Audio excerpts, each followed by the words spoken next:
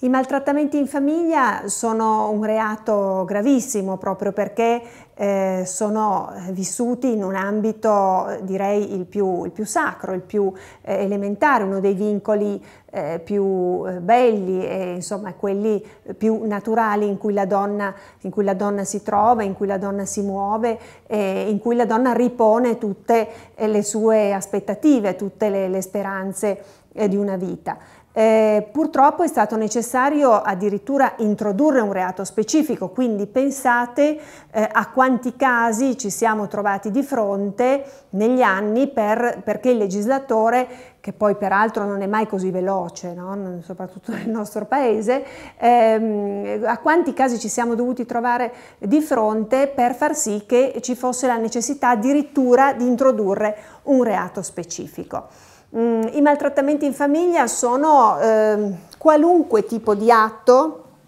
che si metta eh, in, in, atto nei confronti eh, delle donne e non solo delle donne naturalmente ma anche dei minori perché Molto spesso eh, i due fenomeni vanno di pari passo, se c'è un uomo violento che si ubriaca, torna a casa la sera, adesso io dico si ubriaca perché insomma è, è uno dei fenomeni più frequenti, ma potrei, potrei dire si droga, potrei dire anche eh, è perfettamente lucido perché questo purtroppo non è, non è un esimente in ogni caso, ehm, si avventa poi nei confronti della donna e nei confronti dei figli eh, o ehm, litigando in modo ingiustificato, eh, trovando qualunque tipo di pretesto eh, per eh, poi far subire le, delle violenze che non sono spesso non sono soltanto violenze fisiche ma anche delle forti violenze psicologiche e pertanto ehm, far subire in modo eh, ingiusto e illegittimo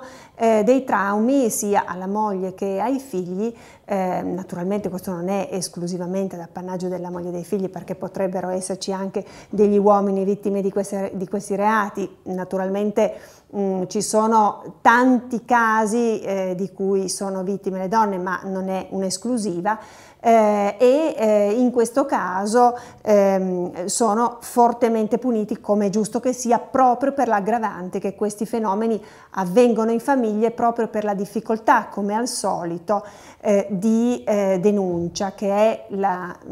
diciamo, l'elemento più difficile da ottenere da parte di persone eh, che proprio perché sono legate da vincolo familiare siano disposte eh, a denunciare, ma è sicuramente anche l'unico modo per poter porre fine per sé e per gli altri eh, a tutta una serie di ingiustizie protratte nel tempo.